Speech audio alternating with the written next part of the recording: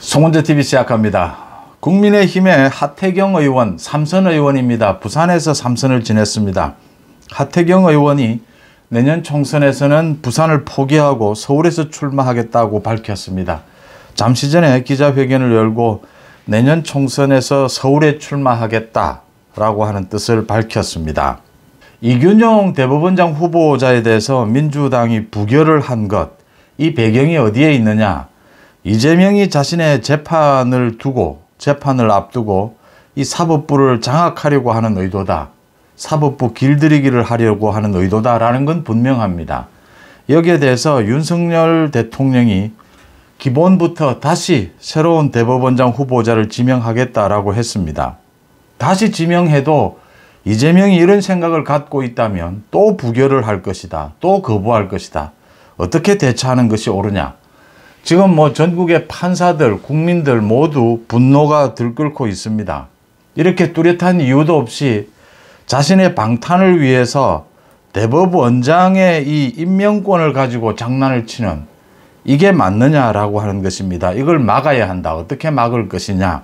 많은 이야기들이 나오고 있습니다.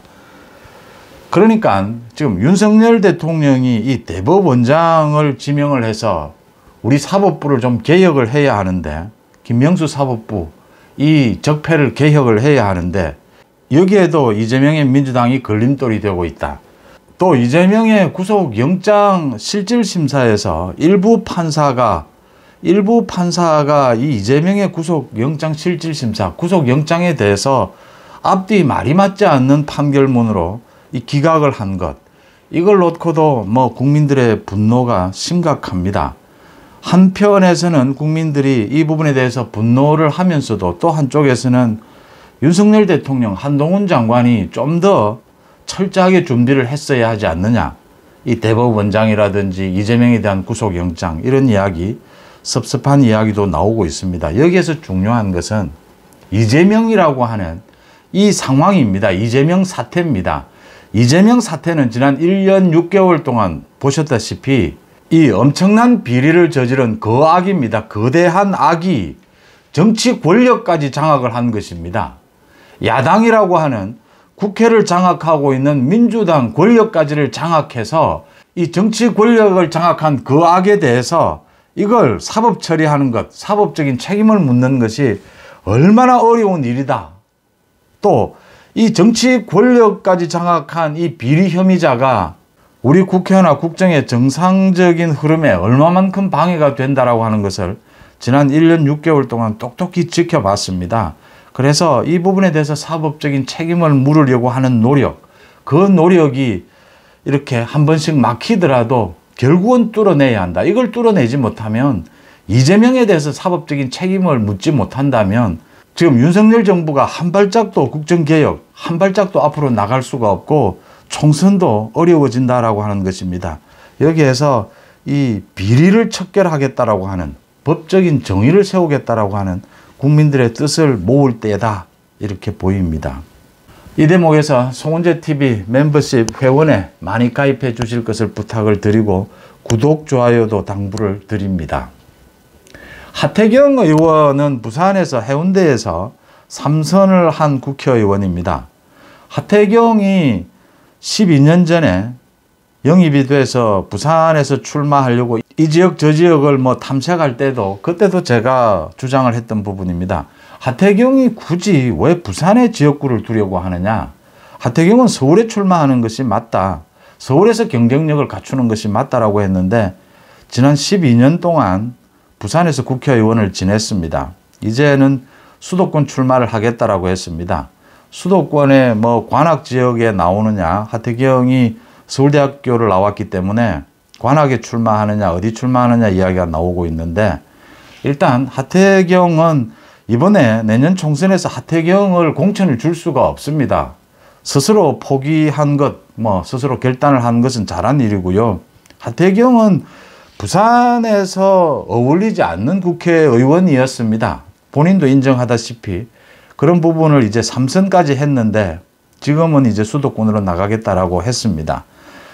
관악도 괜찮지만 정청래 지역에 마포에 출마를 해서 정청래와 맞붙는 것이 맞습니다. 제가 한 번씩 보니까 뭐 정청래와 과거에 방송도 같이 하고 하던데 정청래와 맞붙는 것을 추천을 합니다. 만약 국민의힘에서 공천을 준다면 이제 이렇게 하태경이 삼선이니까 중진입니다.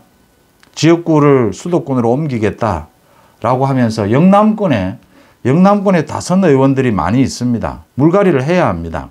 다선 의원들 물갈이를 해야 하는데 영남권 다선 의원들의 물갈이 계기가 되지 않겠느냐라는 이야기인데 솔직히 영남권에 지금 다선 의원들 수도권에 공천을 줘도 당선될 가능성이 있는 경쟁력이 있는 의원들이 얼마 되지를 않습니다. 그냥 물갈이 계기입니다. 다선 의원들이 스스로 퇴진을 하는 것이 맞습니다. 퇴진하지 않으면 강제로 퇴진될 것이다 라는 부분입니다.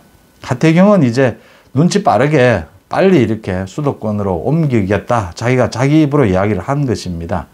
마포 어리죠 정청래. 정청래 지역에서 맞붙는 것이 좋을 것이다. 이렇게 보입니다.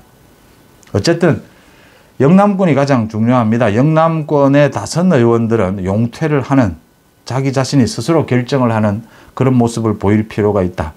이 소위 험지에서 출마해도 되는 경쟁력을 갖춘 사람이라면 험지로 나가고 그렇지 않으면 용퇴를 하는 것이 맞다 이렇게 보입니다.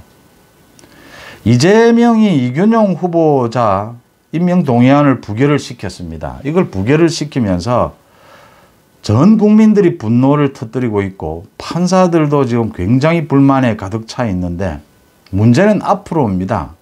윤석열 대통령이 다른 후보자를 임명을 해도 또 지금 거부를 할 게 아니냐라는 겁니다. 왜냐하면 이재명의 의도가 김명수 사법부 체제를 그대로 당분간 유지를 시키는 방법으로 이 아무 별다른 흠결이 없는 이균용 후보자를 부결한 것이라면 앞으로 다른 후보를 지금 지명을 해도 또 부결할 것이다라는 겁니다. 많은 이야기들이 나오고 있습니다. 지금 선임 대법관인 안철상 대법관이 권한 대행을 맡고 있습니다. 그런데 내년 1월이면 안철상도 지금 퇴임을 합니다. 그러면 김선수 대법관이 그 다음 권한 대행을 맡게 됩니다. 김선수 대법관은 뭐 다들 알다시피 이재명과는 뭐 굉장히 밀접한 사이입니다. 그래서 자신이 스스로 이재명 재판이 있었을 때 기피 신청을 하기도 했습니다. 이 사법연수원에서부터 단체도 만들고 연구단체도 만들고 이재명 등등 민주당이 지금 뭐 많은 사람들과 이런 연관을 맺고 있습니다. 김선수 대법관 자신도 부인하지 않는 부분입니다. 그래서 이 김선수 고난 대응을 노리고 지금 이재명이 이렇게 부결 행진을 이어가겠다 이런 생각이라면 이게 심각하다라고 하는 것입니다. 보통 대통령이 대법원장 후보자를 임명을 하고 이 임명 동의안을 처리하는데 두 달 가까이 걸립니다. 그래서 지금 빠른 속도로 후임을 임명을 해도 연말 안에 마칠 수 있을지 없을지 지금 이렇게 추정이 되는데 홍익표입니다. 홍익표가 며칠 전에 방송에 나와서 이 이균용 후보자에 대한 동의안을 놓고 이런 이야기를 했습니다. 그 제가 놀랐던 부분인데요. 이균용 후보자는 지금 윤석열 대통령이 이게 동의안이 통과되지 않을 줄 알고 버리는 카드였다. 이런 소리를 합니다.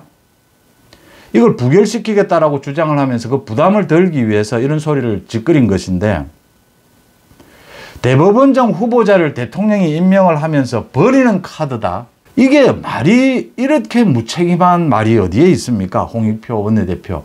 지금 민주당의 수준이 이런 상황이라는 겁니다. 지금 뭐 대한민국의 국정, 정부, 대법원장 뭐 의미가 없다 이겁니다. 거악이 정치 권력을 틀어지고 거기에 민주당이 부안 외동해서 살기 위해서 이런 지금 작태를 보이고 있는 것입니다. 이재명 방탄을 위해서. 대법원장 후보자에 대해서 대통령이 임명을 했는데 이게 버리는 카드다? 그 다음 홍익표가 또 한 이야기가 이 지금 이균용 후보자 임명 동의안 표결을 놓고 당론으로 정하면서 이걸 계기로 해서 당의 단합을 뭐 가늠해 볼 수 있다 이런 소리를 했습니다. 마지막 우리 헌법 질서 사법 시스템을 지키는 마지막 보루죠. 이 대법원장 임명 동의안을 놓고 민주당의 당내 갈등을 뭐 해소하는 이런 계기로 삼겠다.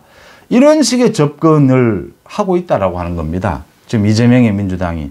이런 식이라면 다른 후임자를 지금 선임을 하더라도 또 부결을 하지 않을까. 그렇게 되면 계속 장기화될 수 있다라고 하는 겁니다. 판사들 인사도 하지 못하게 되고 대법관들 계속 지금 퇴임을 하는데 그 후임자도 선임을 하지 못하게 되고 추천을 해야 합니다. 대법원장이. 그것도 어려워지고 뭐 모든 게 김명수 재판부의 가장 큰 문제가 재판 지연이었지 않습니까? 이 재판 지연이 장기화될 것이다. 이런 우려들이 나오고 있습니다. 윤석열 대통령이 여기에서 어떤 결단을 내릴 필요가 있다. 어쨌든 바꿔야 하는데 지금 가장 중요한 것은 국민들의 여론 또 판사 사법부의 여론입니다. 이 여론이 어디로 흐를 것이냐.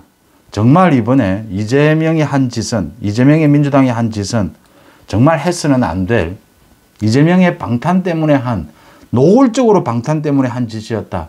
이 여론이 일어나야 윤석열 대통령이 후임자를 지명할 수 있고 지금 후임자도 여러 명 지금 거론이 되고 있습니다. 그동안 인사 검증을 거친 후임자도 있습니다. 그래서 곧 후임자를 지명할 것으로 보입니다. 다음 후임자에 대해서는 이재명의 민주당이 이런 식으로 발목 잡기를 하지 못하도록 지금부터 판사 세계 또 국민적인 여론이 한쪽으로 모아져야 된다 이렇게 보입니다. 사법부가 기울어져 있습니다.